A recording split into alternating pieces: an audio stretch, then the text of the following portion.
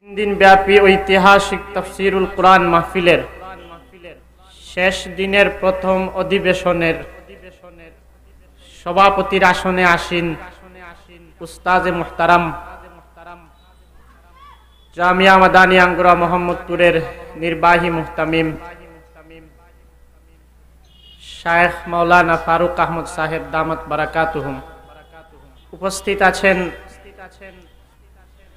উস্তাজে মোহতারাম। বৃহত্তর সিলেটের প্রধান মুফতি ফকিহুল উম্মা,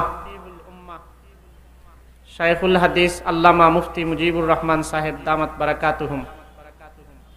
উপস্থিত ধর্মপ্রাণ মুসলমান ভাইরা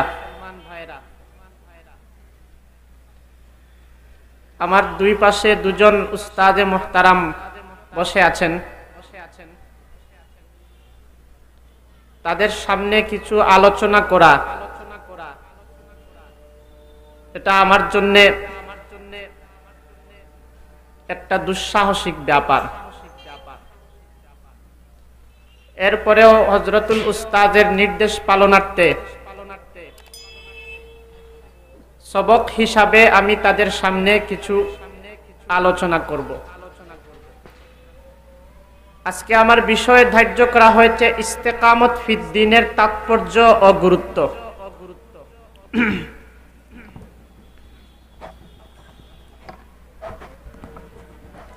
এই বিষয়ে আলোচনা করা এবং এই বিষয়ের উপর আমল করা উভয়টি কঠিন।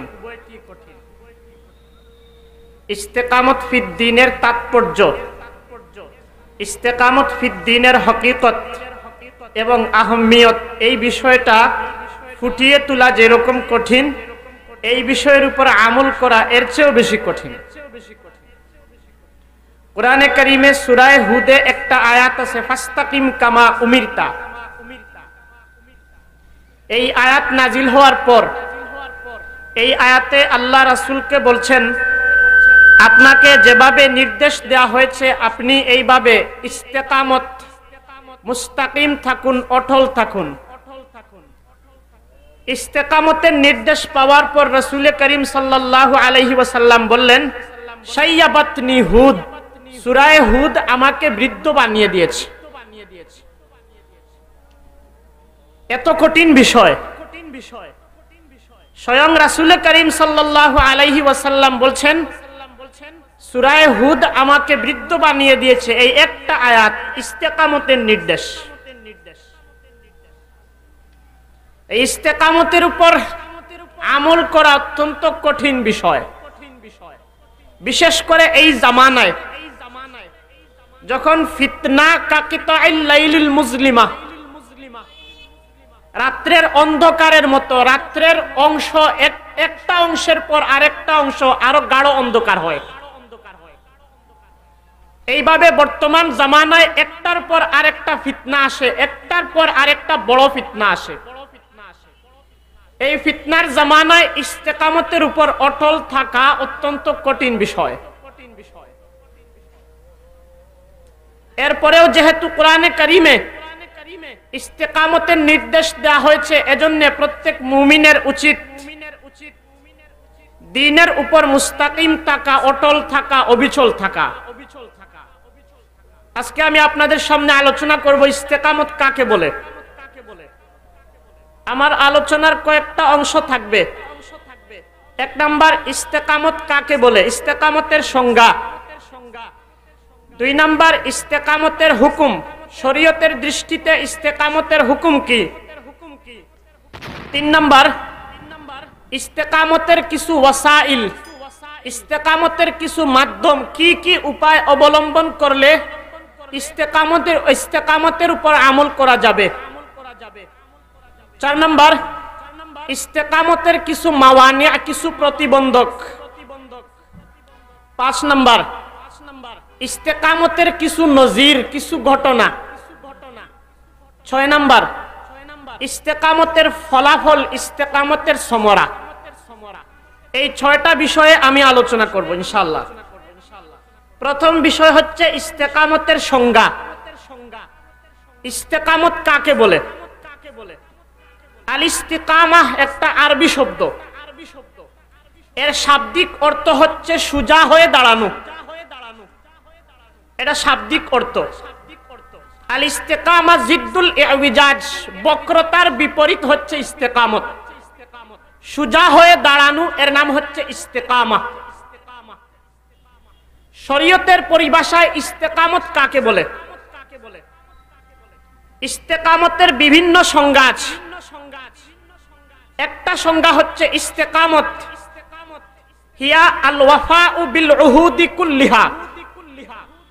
আল্লাহর সাথে বান্দার যে সমস্ত ওয়াদা আছে, যে সমস্ত অঙ্গীকার আছে, সবগুলা ওয়াদা পূর্ণ করা। ওয়া মুলাজামাতু সিরাতিল মুস্তাকিম। এবং সিরাতে মুস্তাকিমকে সব সময় আঁকড়ে ধরা।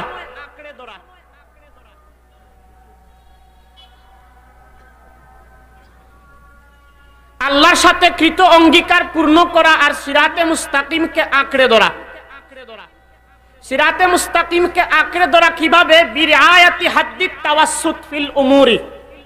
প্রত্যেকটা জিনিসে, প্রত্যেকটা বিষয়ে মধ্যপন্থা অবলম্বন করে।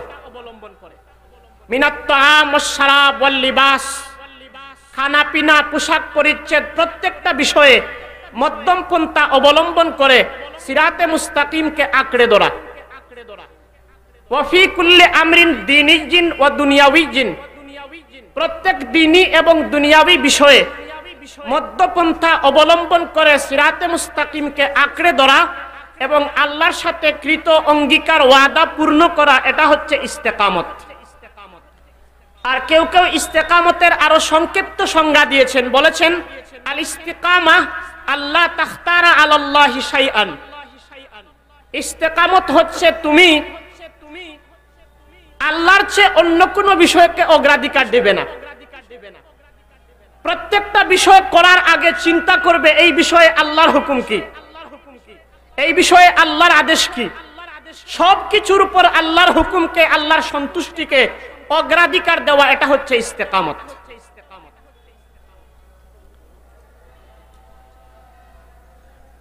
হযরত আবু বকর সিদ্দিক রাদিয়াল্লাহু তাআলা আনহু ইস্তেকামতের একটা সংজ্ঞা দিয়েছেন আল ইস্তেকামাহ আল্লাহ তুশরিকা বিল্লাহি শাইআ। ইস্তেকামত হচ্ছে আল্লাহর সাথে কোনো জিনিসকে শরীক না করা।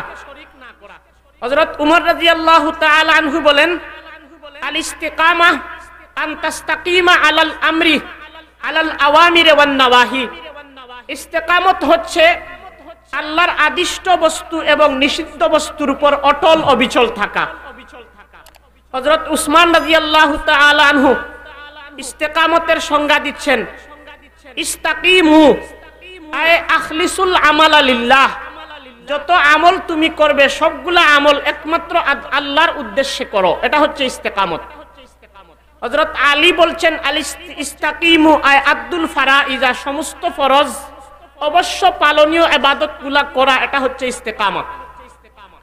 মোট কথা, ইস্তেকামত হচ্ছে জীবনের প্রত্যেকটা ক্ষেত্রে আল্লাহর সাথে কৃত ওয়াদা পূর্ণ করা, আল্লাহর আদেশ নিষেধ মানা, অন্য সকল বিষয়ের উপর আল্লাহর আদেশ নিষেধকে অগ্রাধিকার দেওয়া এবং জীবনের প্রত্যেকটা ক্ষেত্রে সিরাতে মুস্তাকিমের উপর অটল অবিচল থাকা, এটা হচ্ছে ইস্তেকামত ফিদ্দিন তাহলে আমরা ইস্তেকামত বুঝলাম, ইস্তেকামত হচ্ছে জীবনের সর্বক্ষেত্রে দিনের উপর অটল থাকা। যত বাধা সামনে আসুক, সবগুলাকে উপেক্ষা করে আল্লাহর আদেশ নিষেধ মানা, আল্লাহর দিনের উপর অটল অবিচল থাকা সিরাতে মুস্তাকিমের উপর অটল অবিচল থাকা, এটা হচ্ছে ইস্তেকামত ফিদ্দিন। দুই নম্বর বিষয় হচ্ছে, ইস্তেকামত ফিদ্দিনের হুকুম কি? শরীয়তের দৃষ্টিতে ইস্তেকামত ফিদ্দিন দিনের উপর অটল থাকা, এটা ফরজ না সুন্নত, না নফল, না মুস্তাহাব? কোরআনে করিমের একাধিক আয়াতে আল্লাহ তাআলা ইস্তেকামতের নির্দেশ দিয়েছেন। ইস্তাকিমু ইলাইহি ওয়াস্তাগফিরু। ফাস্তাকিম কামা উমিরতা ওয়া মান তাবা মাআকা। আল্লাহ স্বয়ং রাসূলকে বলছেন রাসূল, আপনি এবং আপনার সাথে যারা তওবা করেছে, যারা ইসলাম গ্রহণ করেছে, তারা যেন ইস্তেকামত অবলম্বন করে দিনের উপর অটল অবিচল থাকে। এই আয়াতের ভিত্তিতে মুফসিরিন একরাম বলেন, দিনের উপর অটল অবিচল থাকা ইস্তেকামত ফিদ্দিন এটা প্রত্যেক মুসলমানের জন্য ফরজ। দিনের উপর অটল অবিচল থাকা। এটা হচ্ছে ইস্তেকামতের হুকুম। ইস্তেকামতের হুকুম প্রত্যেকের জন্য, প্রত্যেকটা ক্ষেত্রে দিনের উপর অটল থাকা ফরজ। এখন আমাদেরকে বুঝতে হবে, ইস্তেকামত দিনের উপর অটল থাকার উপায় কি? কি কি কাজ করলে আমরা দিনের উপর অটল থাকতে পারব? যে কোনো সমস্যা সামনে আসলে, দিনের মধ্যে, শরীয়তের মধ্যে এর সমাধান খুঁজা। জীবনের প্রত্যেকটা সমস্যায় আল্লাহর হুকুমকে মেনে চলা। অন্য সকল আইন, অন্য সকল কানুনকে আল্লাহর হুকুমের উপর অগ্রাধিকার না দেয়া। যত বাধা আসুক যত বাধা বিপত্তি সামনে আসুক, সমস্ত বাধা বিপত্তি উপেক্ষা করে আল্লাহর আদেশ নিষেধ মানা। জীবনের প্রত্যেকটা ক্ষেত্রে নিজেকে শরীয়তের উপর অটল রাখা, এটা হচ্ছে ইস্তেকামত। এখন ইস্তেকামতের উপায় কি? কি কি কাজ করলে আমরা দিনের উপর অটল থাকতে পারব? অত্যন্ত জরুরি একটা বিষয়। কোন কোন কাজ করলে আমরা দিনের উপর অটল থাকতে পারব? এটা বুঝার আগে আগে বুঝতে হবে। ইস্তেকামতের পথে প্রতিবন্ধক কি? ইস্তেকামতের পথে বাধা কি? কোন কোন কাজ মানুষকে দিন থেকে সরিয়ে নেয় কোন কোন কাজ করলে মানুষ দিন থেকে সরে যায়? দিন থেকে সরে যাওয়ার কারণ কি? অনেক কারণ আছে। এর মধ্য থেকে সবচেয়ে বড় কারণ হচ্ছে দুইটা। ইস্তেকামতের পথে সবচেয়ে বড় বাধা হচ্ছে দুইটা। একটা হচ্ছে শুভহাত আর আরেকটা হচ্ছে শাহাওয়াত। মানুষ দিন থেকে বিচ্যুত হয় শুভহাতের দ্বারা আর মানুষ দিন থেকে বিচ্যুত হয় শাহাওয়াতের দ্বারা। এই দুইটা বৈশিষ্ট্য মানুষের মধ্যে আছে।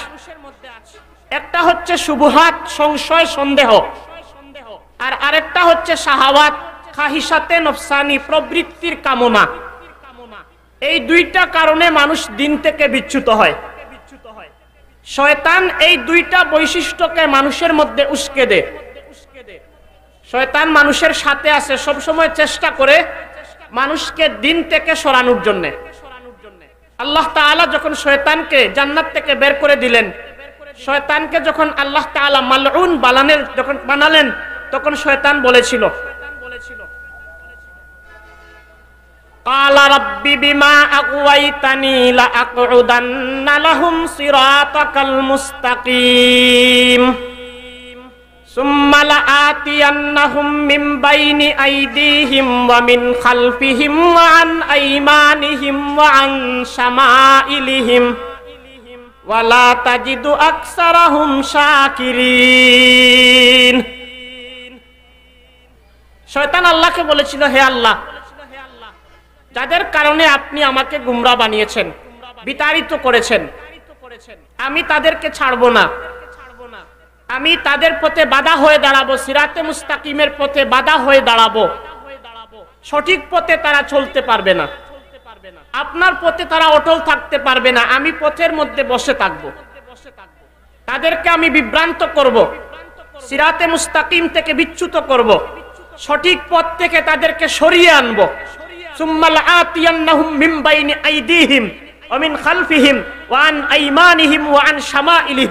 আমি সামনের থেকে আসব, পিছন থেকে আসব, ডান দিক থেকে আসব, বাম দিক থেকে আসব। আমি সর্বাত্মক চেষ্টা করব তাদেরকে সিরাতে মুস্তাকিম থেকে সরানোর জন্য। শয়তান সব সময় চেষ্টা করছে আমাদেরকে সিরাতে মুস্তাকিম থেকে সরানোর জন্য, আর আল্লাহ তাআলা আদেশ করছেন, ফাস্তাকিম কামা উমিরতা। আল্লাহ আদেশ করছেন সিরাতে মুস্তাকিমের উপর অটল থাকতে। আর শয়তান চেষ্টা করছে আমাদেরকে সিরাতে মুস্তাকিম থেকে সরাতে। শয়তানের চেষ্টা এটা আমাদের শাহাওয়াত এবং শুভহাতকে উস্কে দিয়ে। দুইটা প্রধান কারণ। সিরাতে মুস্তাকিম থেকে বিচ্যুত হওয়ার দুইটা প্রধান কারণ, একটা হচ্ছে শুভহাত, সংশয়, সন্দেহ। আর আরেকটা হচ্ছে শাহাওয়াত। মানুষের কামনা, বাসনা, মানুষের প্রবৃত্তি। এই দুইটা বৈশিষ্ট্যকে শয়তান উস্কে দিয়ে মানুষদেরকে সিরাতে মুস্তাকিম থেকে বিচ্যুত করে। এই দুইটা প্রতিবন্ধকের, দুইটা প্রতিকার হচ্ছে প্রতিকার হচ্ছে ইলিম। সংশয়, সন্দেহ। সংশয়ের কারণে, সন্দেহের কারণে অনেক সময় মানুষ দিন থেকে দূরে সরে যায়, সিরাতে মুস্তাকিম থেকে দূরে সরে যায়। এর প্রতিকার হচ্ছে ইলিম। যার মধ্যে ইলিম আছে, তার মধ্যে সংশয় থাকতে পারে না। সংশয় এবং শুভহাত তাকে বিচ্যুত করতে পারে না। আল্লাহ তাআলা কোরআনে কারিমে বলেন, হুয়াল্লাযী আনজালা আলাইকাল কিতাবা মিনহু আয়াতুম মুহকামাতুন হুন্না উম্মুল কিতাব ওয়া উখারু মুতাশাবিহাত। فأما الذين في قلوبهم زيغ فيتبعون ما تشابه منه ابتغاء الفتنة وابتغاء تأويله وما يعلم تأويله إلا الله والراسخون في العلم يقولون آمنا به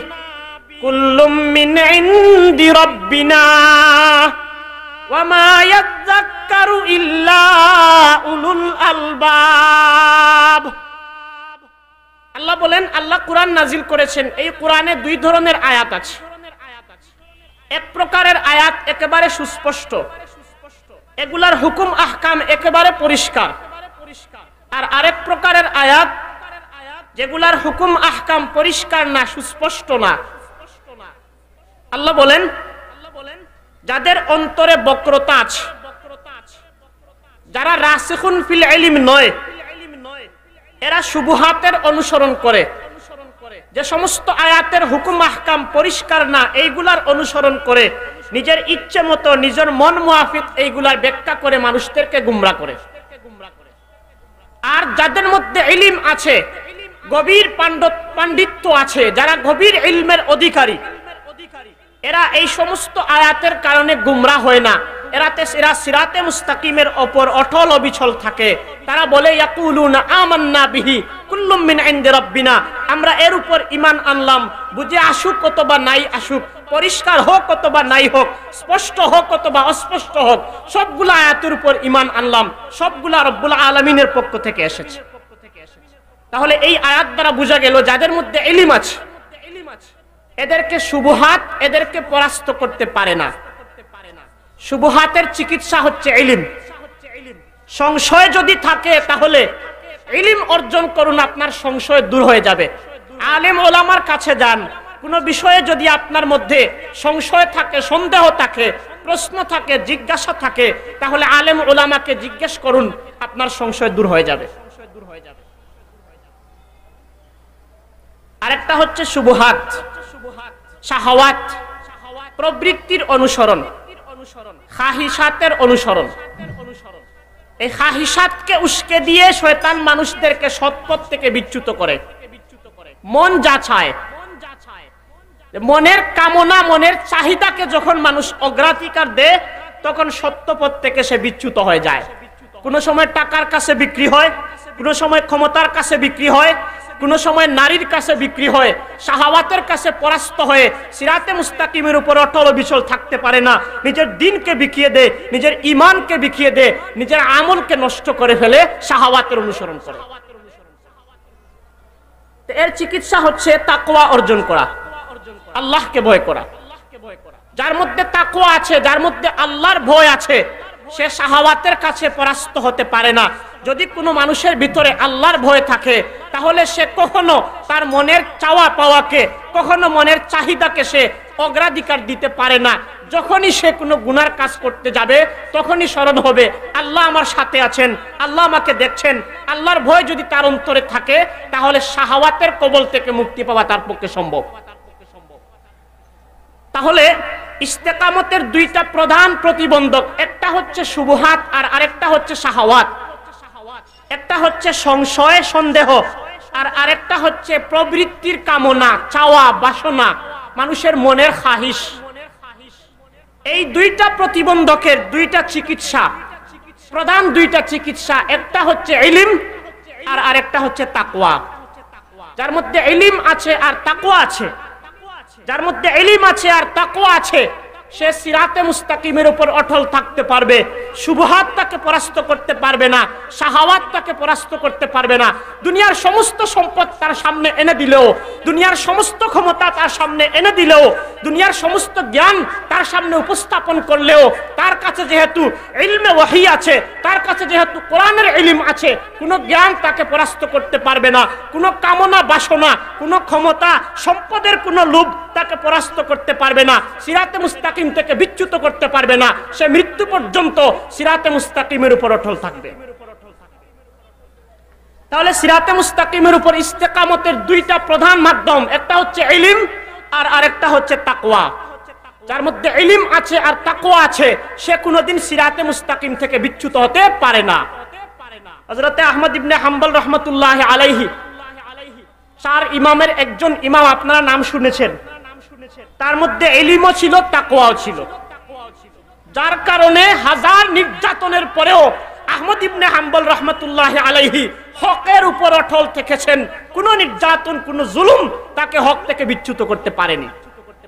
খালকে কোরআনের মাসআলায় খলিফা মামুনুর রশিদ আহমদ ইবনে হাম্বল হাম্বলের কাছে বার্তা পাঠিয়েছেন।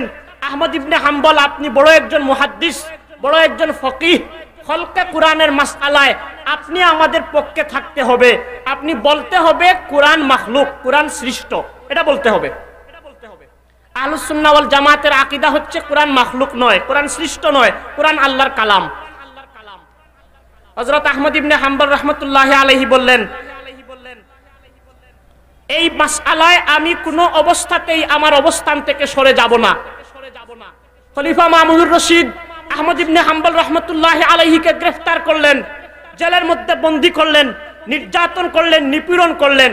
তার ইন্তেকালের পর তার ছেলে খলিফা মোহতাসিম বিল্লাহ আহমদ ইবনে হাম্বল রহমতুল্লাহ আলাইহিকে মানুষের সামনে এনে জনসম্মুখে এনে বিবস্ত্র করলেন, উলঙ্গ করলেন, তাকে চাবুক মারালেন, বেত্রাঘাত করলেন।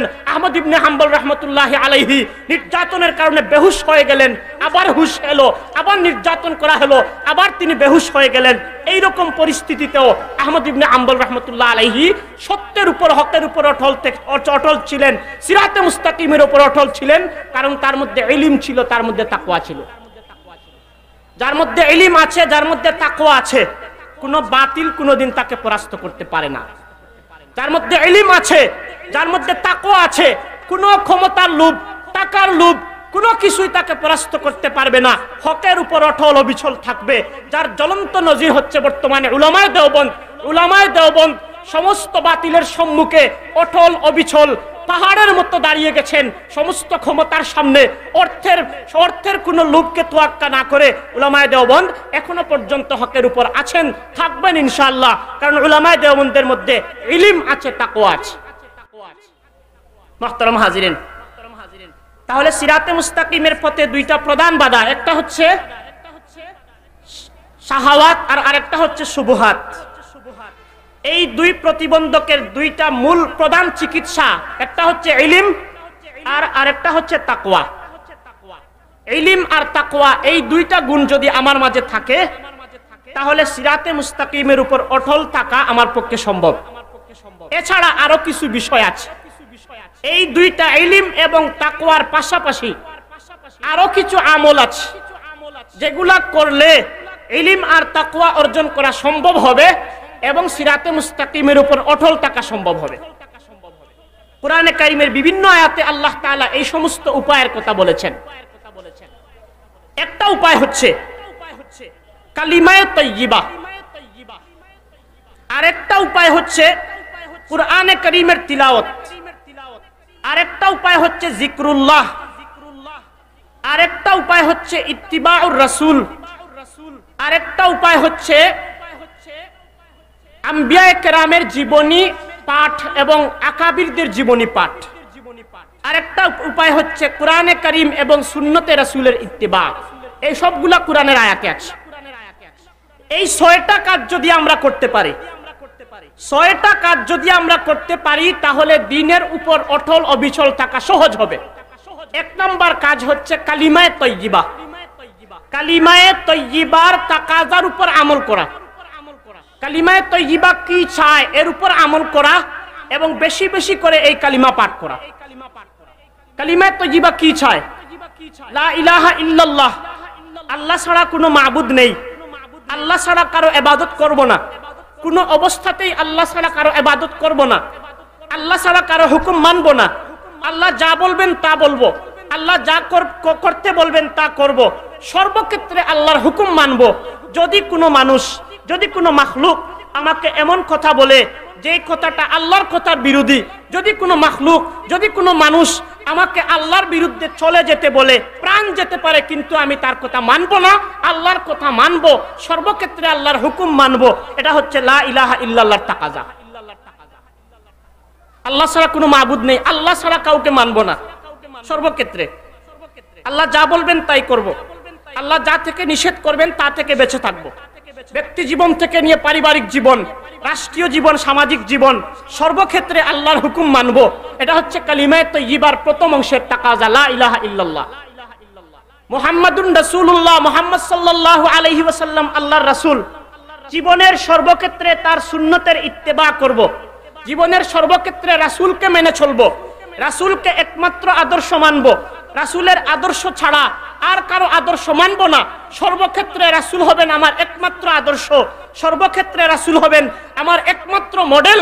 এটা হচ্ছে এটা হচ্ছে মোহাম্মদুর রাসূলুল্লাহর তাকাজা। তা তাহলে কালিমা তৈজিবার তাকাজা হচ্ছে একমাত্র আল্লাহর হুকুম মানা আর একমাত্র রাসুলকে অনুসরণ করা অনুসরণ করা।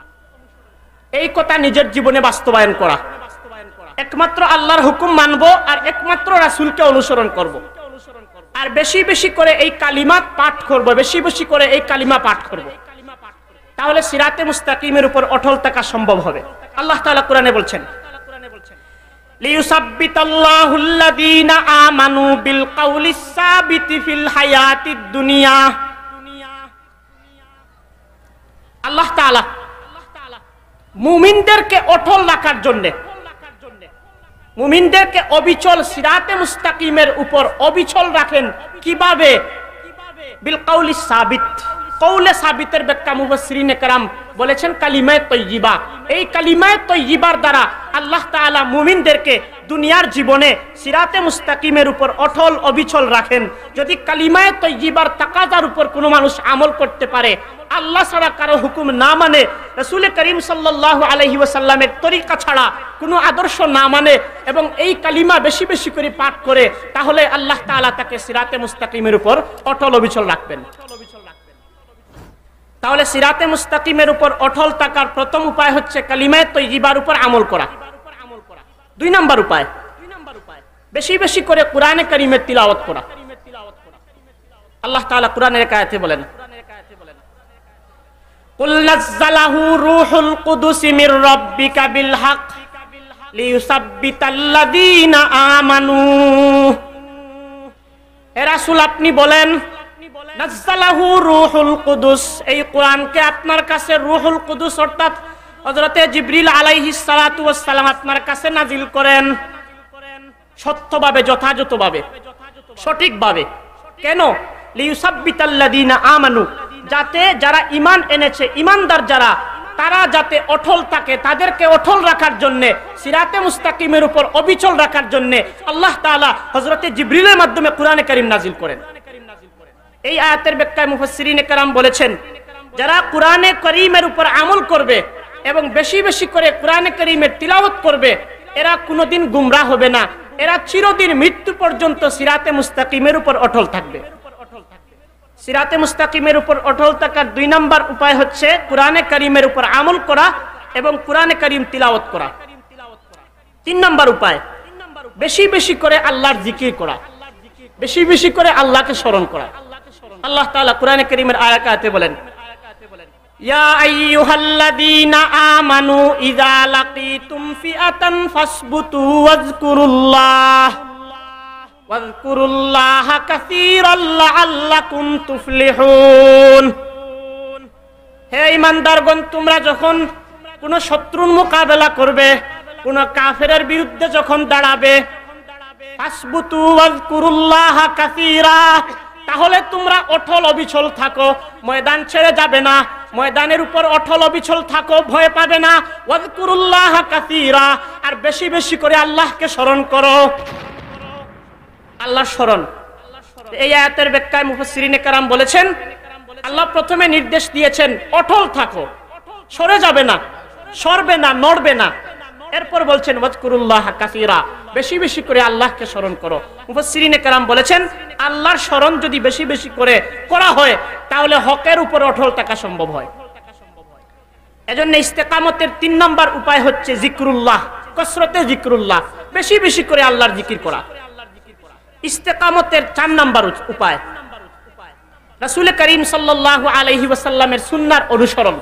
রাসুল যা বলেছেন তা করা যা থেকে নিষেধ করেছেন তা না করা। রাসুলের উপদেশ মেনে চলা। আল্লাহ কোরআনে বলছেন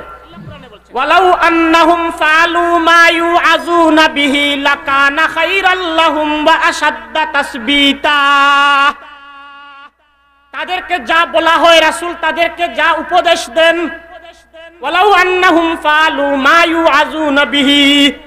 তাদেরকে যা উপদেশ দেয়া হয় রাসূল, তাদেরকে যা বলেন, যদি তারা তা করে এটা তাদের জন্য ভালো হবে, তাদের জন্য কল্যাণ হবে। আর কি হবে? তাসবিতা।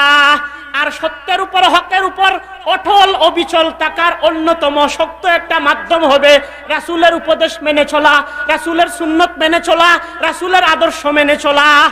তাহলে ইস্তেকামতের চার নাম্বার উপায় হচ্ছে রাসূলের সুন্নতের অনুসরণ। পাঁচ নাম্বার ইস্তেকামতের পাঁচ নাম্বার উপায়। নবীদের জীবনী পাঠ করা। আকাবিরদের জীবনী পাঠ করা।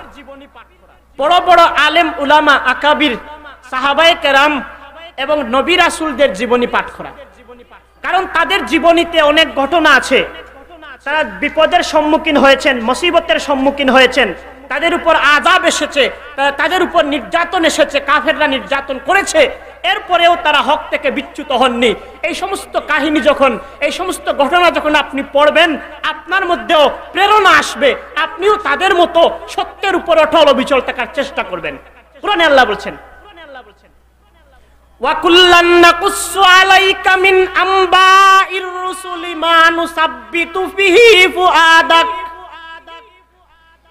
আল্লাহ বলছেন, ওয়াকুল্লান নাকুসু আলাইকা মিন আমবাইর রুসুল।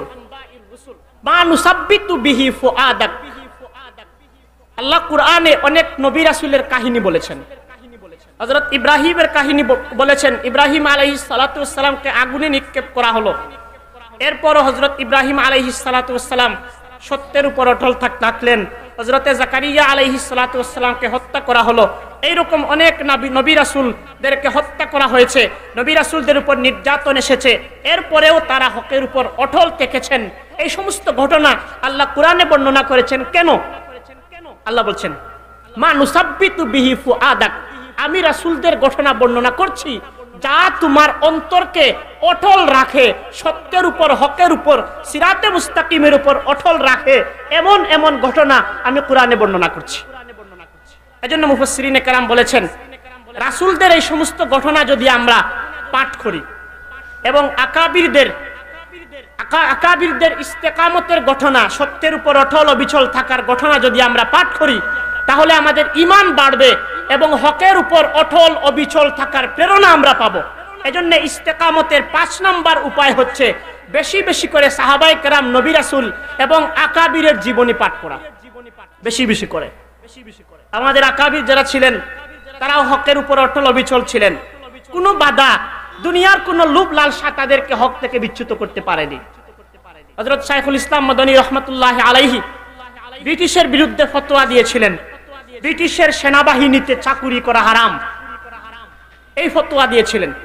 তার বিরুদ্ধে গ্রেফতারি পরোয়ানা জারি হয়েছিল। আদালতে তাকে তোলা হয়েছিল। তার উকিল তাকে অনুরোধ করেছিলেন, মৌলানা, যদি আপনি এই ফতোয়ার উপর অটল থাকেন, তাহলে আপনার বিরুদ্ধে রাষ্ট্রদ্রোহের অভিযোগ আনা হবে এবং নিশ্চিত আপনার ফাঁসি হবে। এজন্য অন্তত আপনি আদালতে এটা বলবেন, আমি আমার এই ফতোয়া থেকে রুজু করলাম, এই ফতোয়া থেকে আমি ফিরে আসলাম যদি আদালতে এটা বলতে পারেন, তাহলে আমি আপনাকে বাঁচানোর চেষ্টা করব। হজরত মদনী রহমতুল্লাহ আলাইহি প্রাণের পরোয়া করেননি, জানের ভয় তার মধ্যে ছিল না। আদালতের মধ্যেও তিনি তার ফতোয়া বলেছেন। আমি আগেও বলছি এখনও বলছি, ব্রিটিশের অধীনে চাকুরি করা, ব্রিটিশের সেনাবাহিনীর যে চাকুরি করা, শরীয়তের দৃষ্টিতে হারাম। এইরকম উলামায় দেওবন যারা ছিলেন, প্রত্যেকেই সত্যের উপর, হকের উপর অটল অবিচল থেকেছেন। কোনোদিন হক থেকে বিচ্যুত হননি, কোনোদিন সত্য থেকে বিচ্যুত হননি। আকাবিরদের জীবনী পাঠ করলে ইমান বাড়ে। হজরত শাহুল হিন্দ রহমতুল্লাহ আলাইহি মাল্টার কারাগারে বন্দী হয়েছেন। বৃদ্ধ অবস্থায়, একেবারে মুমূর্ষ অবস্থায় মাল্টার কারাগারে বন্দী ছিলেন। কি নির্যাতন করা হয়েছে? হজরত শাইখুল হিন্দ রহমতুল্লাহ আলাইহিকে মারা যাওয়ার পর যখন গোসল করা, গোসল দেয়া হয়েছিল, যারা গোসল দিতে ওখানে ছিল যারা, তারা বলছে যে হজরতের কোমর সহ, আর পুরো কোমর জুড়ে শুধু দাগ ছিল, বেড়ির দাগ। তার কুমোরে বেড়ি বাঁধা ছিল, নোঙ্গর লোহার বেড়ি ছিল, এর দাগ কুমোরে ছিল। কুমোরে কোনো মাংস মাংস ছিল না।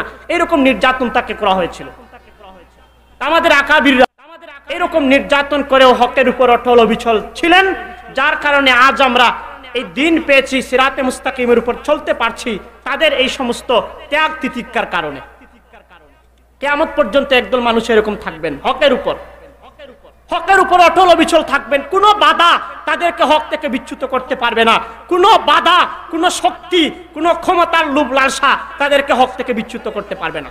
লা তাজালু তাইফাতুম মিন উম্মতি মানসুরিনা আলাল হক। হাদিসের মধ্যে আল্লাহর রাসূল বলছেন তাহলে পাঁচ নম্বর কারণ হচ্ছে বেশি বেশি করে আকাবির আসলাফ, নবী রাসূল এবং সাহাবায়ে কেরামের জীবনী পাঠ করা। সাহাবায়ে কেরাম কীরকম নির্যাতন সহ্য করেছেন? হজরতে আম্মার হজরতে ইয়াসির রাজিয়াল্লাহু আনহুমা হজরতে সুমাইয়া রাজিয়াল্লাহু আনহা, এক পরিবারের তিনজন সদস্য ইসলাম গ্রহণ করেছেন। কাফেররা নির্যাতন করেছে। মক্কার কাফেররা বৃদ্ধ হজরতে ইয়াসিরকে নির্যাতন করেছে। উত্তপ্ত বালুর মধ্যে তাকে শুয়ে রাখতো, তার উপর পাথর দিয়ে রাখতো, এরকম নির্যাতন সহ্য করেও হজরতে ইয়াসির রাজিয়াল্লাহু তাআলা আনহু ইসলাম ত্যাগ করেননি, সত্য থেকে বিচ্যুত হননি। হজরতে সুমাইয়া রাদিয়াল্লাহু তাআলা আনহা তাকে কাফেররা নির্যাতন করেছে, শেষ পর্যন্ত শহীদ করেছে। শহীদ হওয়ার পরেও তিনি ইসলাম ত্যাগ করেননি, নির্যাতন সহ্য করেছেন, হকের উপর অটল অবিচল থেকেছেন। এই তিনজন মানুষের উপর নির্যাতন করা হয়েছে। রসুল করিম সাল্লাহ আলহি ওসাল্লাম একবার মক্কার রাস্তা দিয়ে যাচ্ছেন, পাশের মধ্যেই দেখেন, বালুর মধ্যে হজরতে আম্মার হজরতে ইয়াসির হজরতে সুমাইয়াকে নির্যাতন করা হচ্ছে।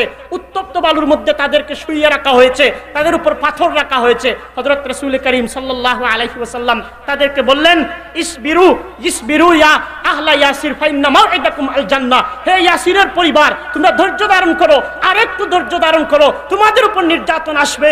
যদি এই নির্যাতনের উপর অটল অবিচল থাকতে পারো, তোমাদের জন্য জান্নাত নিশ্চিত। হজরতে সুমাইয়া শহীদ হয়ে গেলেন। হজরতে ইয়াসির এই নির্যাতনে শহীদ হলেন। হজরতে আম্মারকে নির্যাতন করা হলো। হজরত উমর রাজিয়াল্লাহু তাআলা আনহু একবার বললেন, আম্মার তোমার উপর যে নির্যাতন করা হয়েছে, তা কি মনে আছে তোমার? হজরত আম্মার পিঠের জামা খুলে দেখালেন, উমর, দেখো আমার পিঠে এখনও দাগ আছে। আমার পিঠে তারা জ্বলন্ত কয়লা রেখে দিত। এরপরে আমি হক ত্যাগ করিনি, সত্য থেকে বিচ্যুত হয়নি। এরকম নির্যাতন করেছেন। এরপরও তারা সত্যের উপর অটল ছিলেন। তাহলে ইস্তেকামতের পাঁচ নম্বর উপায় হচ্ছে বেশি বেশি করে সাহাবাই কেরাম নবিরাসুল এবং আকাবির আসলাফের জীবনী পাঠ করা। আর ছয় নম্বর আল্লাহ যে শরীয়ত দিয়েছেন কোরআন এবং রাসুলের মাধ্যমে, সর্বক্ষেত্রে এই শরীয়তের অনুসরণ করা, আল্লাহর হেদায়তের অনুসরণ করা। আল্লাহ কোরআনে বলছেন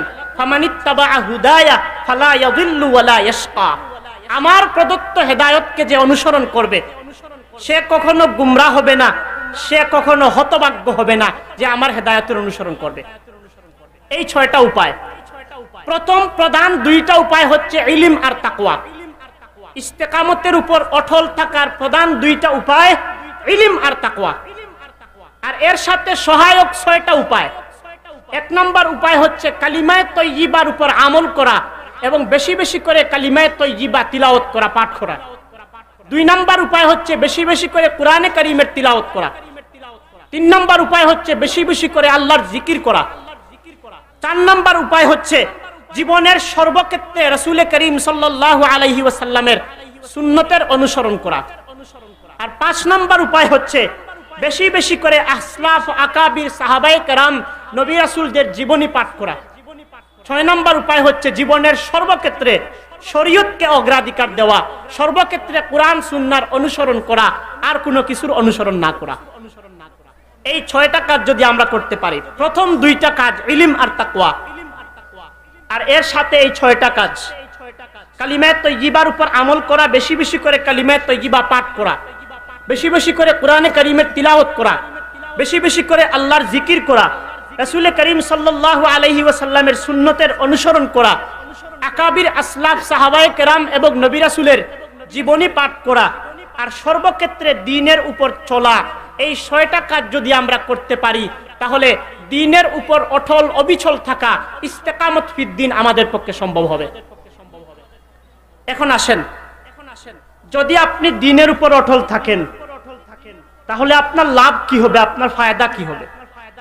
এর সামারা কি? এর ফলাফল কি? ইস্তেকামত ফিদ্দিন সারা জীবন দিনের উপর থাকলেন।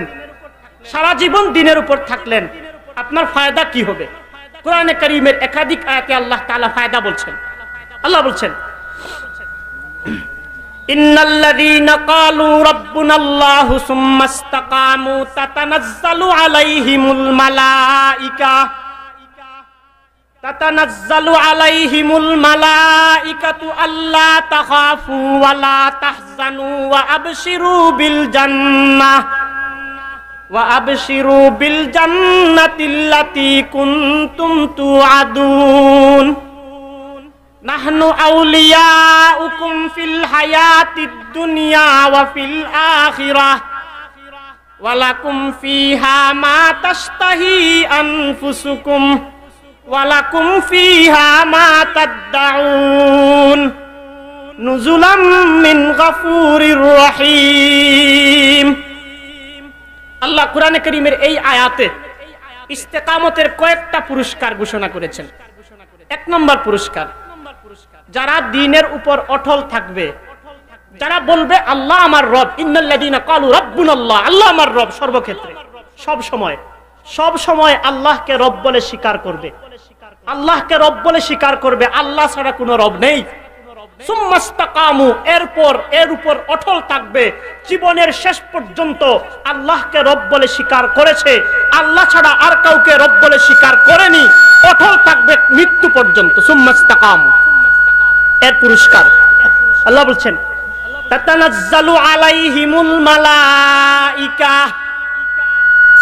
এর পুরস্কার হচ্ছে ফেরেশতারা তার কাছে আসবেন। তার কাছে নাজিল হবেন কোন সময়? বলছেন, তিন সময়। তিনটা মুসিবতের সময় ফেরেশতারা তার কাছে আসবেন। একটা হচ্ছে মৃত্যুর সময়।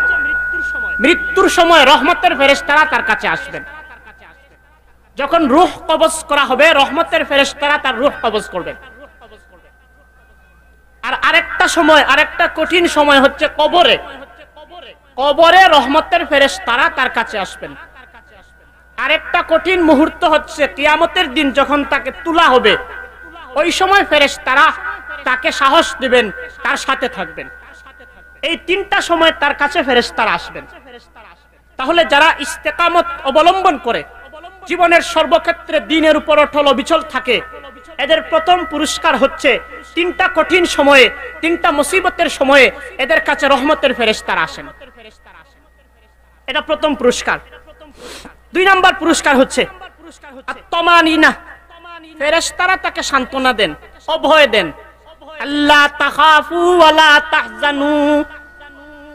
ফেরেশতারা দেন ভয়ের কোনো কারণ নাই। লা তাখাফু তাহজানু, ভয় করো না। চিন্তিত হয় না। ভয় করো না।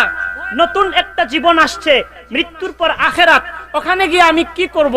আমি দুনিয়াতে যে সমস্ত আমল করেছি, এই সমস্ত আমল আল্লাহ কি কবুল করবেন? কেয়ামতের দিন আমি কি সফল হব? কেয়ামতের দিন আমি কি জান্নাতে যাব, নাকি জাহান্নামে যাব? এই ভয় করো না। ওয়ালা আল্লাহ তাখাফু আলা মা কাদ্দামু আলামা কাদ্দামতুম লিল আখিরা। আখিরাতের জন্য তোমরা যা করেছ, এর উপর তোমরা ভয় করো না। আল্লাহ এগুলা কবুল করেছেন। এর বিনিময়ে তোমরা আখিরাতে জান্নাত পাবে। এই অভয় দেবেন ফেরেশতারা। ওয়ালা তাহজানু আলা ফাতাকুম। আর দুনিয়াতে যা ছেড়ে যাচ্ছ, মাতা, পিতা, পরিবার, পরিজন, স্ত্রী, ছেলে, সন্তান, সবাইকে ছেড়ে চলে যাচ্ছেন। একটা চিন্তা অবশ্যই থাকবে। দেখবেন যে সমস্ত মানুষ মৃত্যুমুখে পতিত হয়। আজরাইল যখন তাদের সামনে আসেন, তখন টল টল করে মানুষ সবার সাথে, সবার দিকে চেয়ে থাকে। তার চোখ দিয়ে পানি পড়ে। চিন্তা করে, হায় আফসুস, এত মায়ার দুনিয়া, এত মায়ার পরিবার, পরিজন, সবাইকে আমি ছেড়ে চলে যাচ্ছি। তাদের কি হবে? ফেরেশতারা অভয় দিবেন, লা তাহজানু তাদের ব্যাপারে কোনো চিন্তা করো না। তাহলে দুই নম্বর পুরস্কার হচ্ছে যারা ইস্তেকামতের উপর অটল থাকবে, ফেরেশতারা তাদেরকে সান্ত্বনা দেবেন। তিনটা কঠিন মুহূর্তে।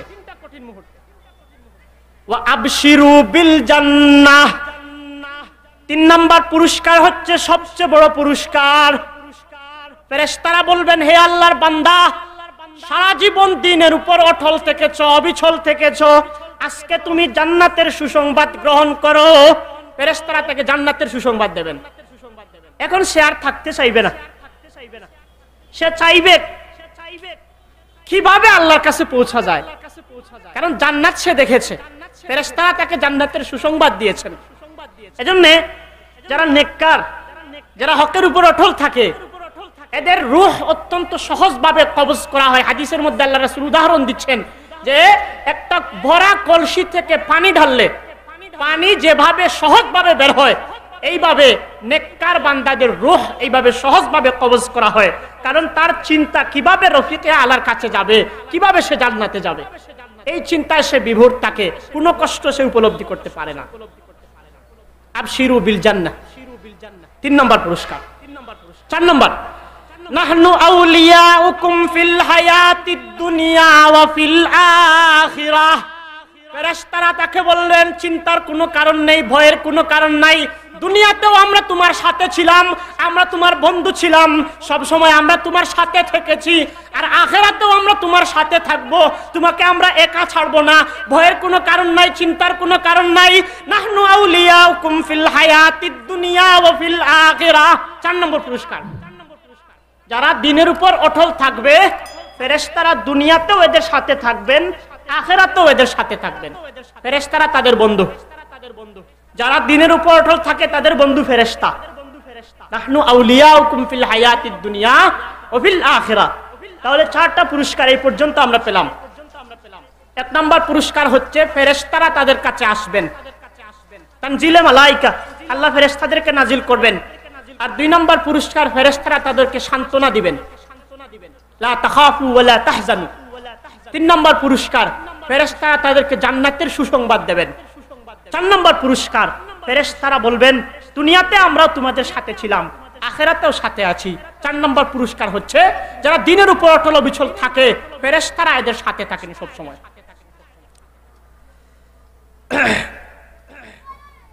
পাঁচ নম্বর পুরস্কার।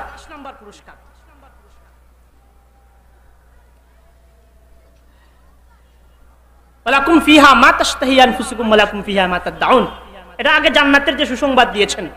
এই জান্নাত সম্পর্কে বলছেন, ওই জান্নাতে তোমরা যা চাবে তোমাদের যা ইচ্ছা তাই পাবে। তোমাদের যা চাহিদা, সব চাহিদা জান্নাতের মধ্যে পূরণ করা হবে, এমন একটা জান্নাত তোমাদেরকে প্রদান করা হবে। এরপর আর একটা পুরস্কার ফেরেশতারা বলবেন, নুজুলাম মিন গাফুরির রাহিম। আয়াতের শেষে আছে। এটা পাঁচ নম্বর পুরস্কার। ফেরেশতারা বলছেন, এটা গফুরুর রাহিম আল্লাহর পক্ষ থেকে তোমাদের বিশেষ মেহমানদারি। এই আয়াতের ব্যাখ্যায় আল্লামা ইবনে কাসির বলছেন নুজুলাম মিন গাফুরিন লিজুনুবিকুম রাহিমুন বিকুম। এটা আল্লাহ এমন সত্তা, এমন সত্তার পক্ষ থেকে পুরস্কার, যিনি তোমাদের গুনার জন্য ক্ষমাসীন অর্থাৎ এই আয়াতে আল্লাহ যারা ইস্তেকামত ফিদ্দিন অবলম্বন করবে, যারা সারা জীবন দিনের উপর অটল থাকবে, এদের জন্য আরেকটা পুরস্কার বলছেন, আল্লাহ তাআলা তাদের জীবনের সমস্ত গুনাহকে মাফ করে দেবেন। আল্লাহর মাগফিরত এবং রহমত তাদের সাথে থাকবে। পাঁচ নম্বর পুরস্কার। পাঁচ নম্বর পুরস্কার হচ্ছে মাগফিরত আর রহমত।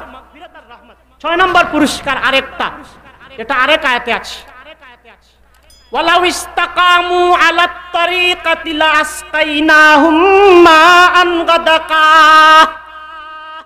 আল্লাহ বলছেন, তারা যদি দিনে শরীয়তের উপর অটল থাকে, অবিচল থাকে ওয়াসিআ আমি তাদেরকে প্রচুর রিজেক দান করব। দুনিয়াতে কোনো অভাব থাকবে না, অনটন থাকবে না, রিজেকের মধ্যে আমি বরকত দান করব। যারা দিনের উপর অটল থাকে, তাদের মধ্যে বরকত, রিজেকের মধ্যে বরকত থাকে। অনেক ধনী মানুষ আছে টাকা পয়সার অভাব নেই, কিন্তু বরকত নাই। কোটি কোটি টাকার মালিক, এরপরেও খেতে পারে না, ডাক্তারের নিষেধ। শান্তি নাই, বরকত নাই। আল্লাহ বলছেন যারা সারা জীবন হকের উপর অটল থাকবে, তাদের পুরস্কার দুনিয়াতে পুরস্কার হচ্ছে, আমি তাদের রিজেকের প্রাচুর্যতা, রিজেকের মধ্যে আমি তাদেরকে বরকত দেব। দুনিয়ার পুরস্কার। দুনিয়ার দুইটা বড় পুরস্কার পেলাম। একটা হচ্ছে রিজেকের বরকত, আর আরেকটা হচ্ছে ফিরিস্তাদের সাহচর্য। আর আখেরাতের পুরস্কার, মৃত্যুর সময় থেকে পুরস্কার শুরু। ফেরেস্তারা আসবেন, অভয় দেবেন, চিন্তা করো না, ভয় করো না, জান্নাতের সুসংবাদ গ্রহণ করো।